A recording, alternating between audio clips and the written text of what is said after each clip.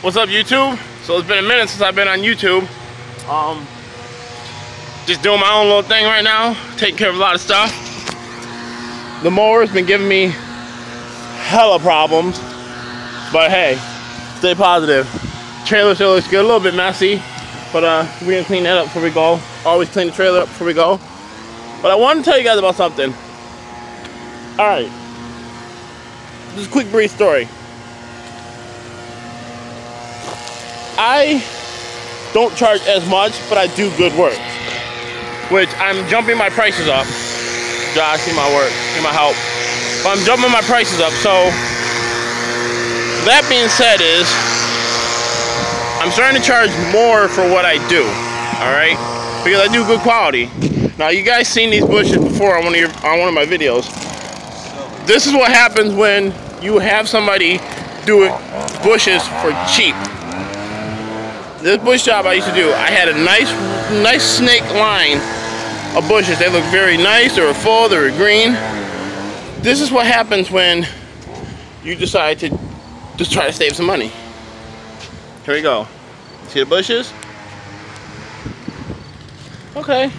So they still got a little shape to them. You know, they're square. They're not green. They're not thick. But then,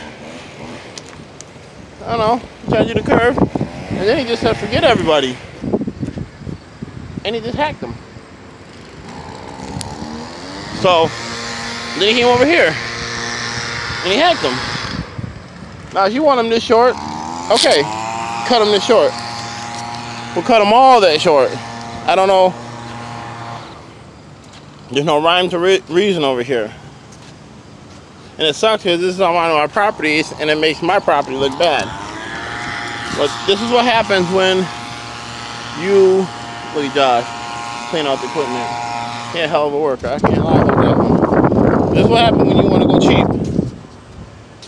Save a few bucks. Look like crap. Now I'm not saying you gotta spend top dollar. I mean, you can go cheap, maybe find somebody that really knows what they're doing. But you're not gonna get me for cheap. All right, well, I gotta go. It looks like it wants to rain. We're gonna get this trailer cleaned out, and we can get out to the next house. I'll talk to you later. This Triple D's Lawn Care. We out this bitch.